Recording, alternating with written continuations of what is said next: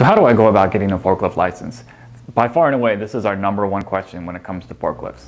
Well, let me clear up a very common misconception. There is no such thing as a forklift license.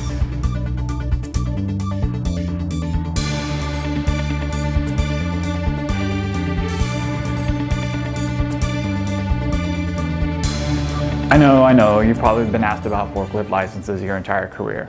There's a chance you might be applying for a job right now and your prospective employer is asking you for a forklift license. Well, forklift operation doesn't work like driving a car. You don't go down to the DMV and get a picture and take a test and then get a license that allows you to operate.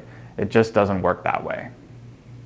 So being authorized to operate a forklift at your facility is basically like any other training subject. You need to be trained and evaluated by your employer. There's no license or card that you can get that you can take from employer to employer that proves that you're authorized to operate. You do have to be trained and you do need to have documentation for, of that training but that's something that is kept with your employer. So I know what you're thinking. How am I supposed to get authorized by my employer to operate a forklift if I don't currently have a job? Who's going to authorize me if forklift licenses don't exist? Well, that's a good question. Unfortunately, most employers don't actually understand the regulations for forklift operation and forklift training. So here's what we recommend. Submit a forklift operator resume sheet as an addendum to your resume.